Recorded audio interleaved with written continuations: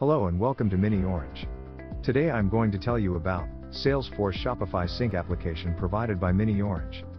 Let us understand why we need this application. Dealing with huge amounts of datasets in an e-commerce platforms is now much easier than it has ever been.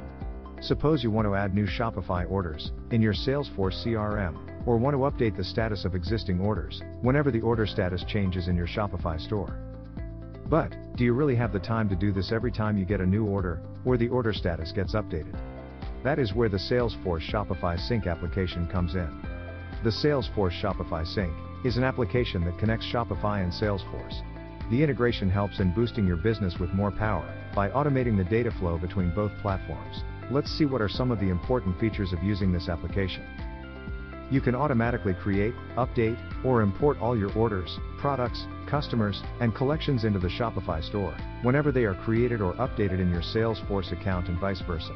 You may map customer attributes like customer name, email, tags, address. Product attributes like product name, product ID, product color. Order attributes like order date, order email, and other meta field values between your Shopify store and Salesforce CRM. Add several stores to one account of Salesforce CRM to manage products, orders, customers, and collections from one place. Using this application, you can manage multiple Shopify stores from a single Salesforce account. Whenever you create a new customer in any Shopify store, the same customer will be created in all other Shopify stores and Salesforce CRM so that you can track the customer data. Managing revenue data and creating new products from a single platform is now made easy using this application.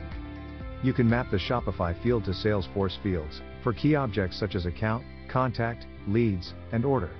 As well as you can also map those fields to any custom object in Salesforce, so that whenever any update takes place in Shopify, the same changes will reflect in your Salesforce CRM. Thank you for watching this video. For more information, drop us a query at Shopify support at the rate xecurify.com.